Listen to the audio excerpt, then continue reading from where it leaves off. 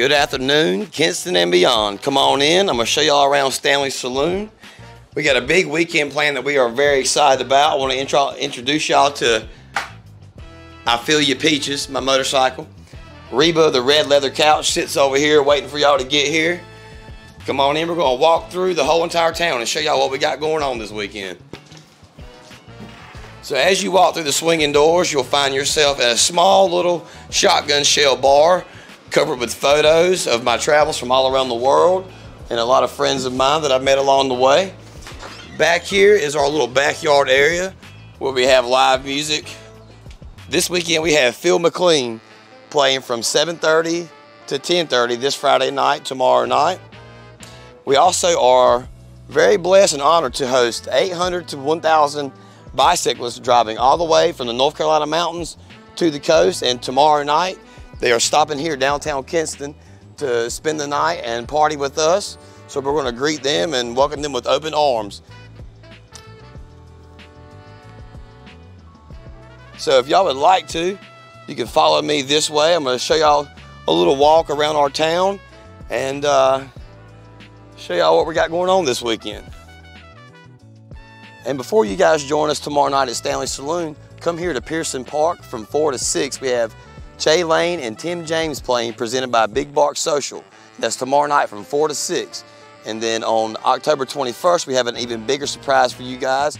We have the first ever Brad Fest from 2 p.m. to 9 p.m. It's going to be a ball, and we can't wait to have this whole entire place filled up with people and a lot of great music going on. But come on, there's more to see. So as we are expecting a huge crowd down here this weekend, in addition to the food trucks that will be at Pearson Park, we also have some great local dining options. This place here is called Harpendill's Bar and Grill. It is my restaurant with my business partner Dylan, and we look forward to possibly feeding you guys and making y'all some great drinks this weekend.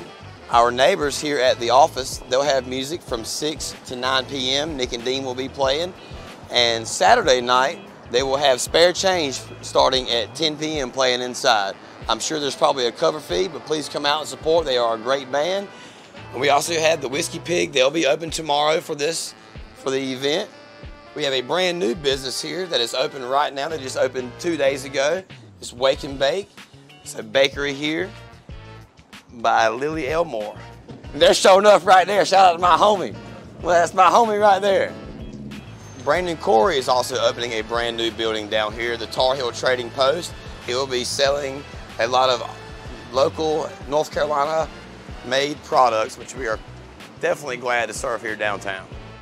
And just across the street from all the other beautiful businesses that we just listed and named, I have a brand new bar that I just opened at the end of June called The Mullet. Business in the front, party in the back.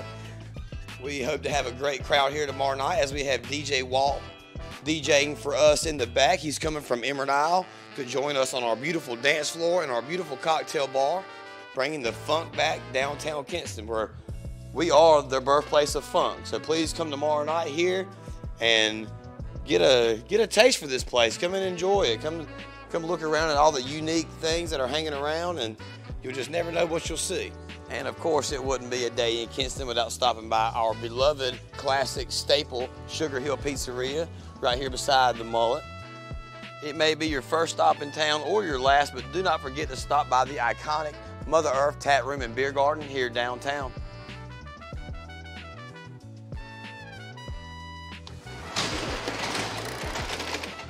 And obviously don't forget to stop by 300 North Heritage to come visit Zac and Stephanie here at Additive America. And also shout out to them for this video down at Big Bark Social. They're down here downtown trying to make things happen as we all are. And as much content as we can create, the better. Come check them out. Come on inside while we're at it. They have a lot of merchandise here. They make a lot of t-shirts, a lot of 3D printed awesome Pokemon, which we all grew up knowing and loving. Forgot some of their names, but we all know. Oh, that's not Pikachu. There's uh, where's Pikachu? I know we got. Let's see. I know we got Bulbasaur here though.